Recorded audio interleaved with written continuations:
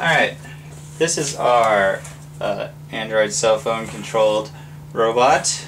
Um, as you can see, it has your basic robot chassis with wheels, uh, continuous modified stepper motor, uh, servo motors, and uh, a standard uh, 4017 decade counter to decode the signal. It's also optically isolated from your cell phone to protect your cell phone in case of any um, uh, unexpected electrical events. The rear wheels are shower door rollers, and the front wheels are pretty much anything round, and we put uh, rubber bands on them for uh, traction. And the weapons are all from the dollar store. Um, this is a dollar store ashtray cut down to make a uh, targeting shield, and the shield um, the object of the game is to pull your opponent's shield off using your magnet stick.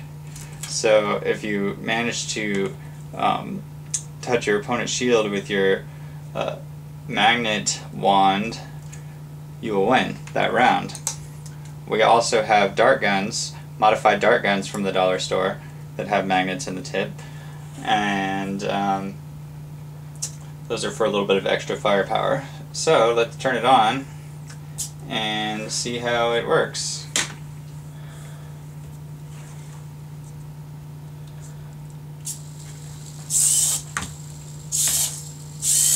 So as you can see I'm controlling it via the Wiimote and we aim into position and we can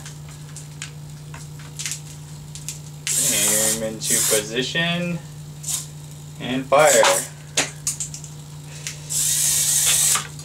Oh, I just killed myself. Well, that's the way the cookie crumbles in the exciting fast-paced world of cell phone robotic-based combat.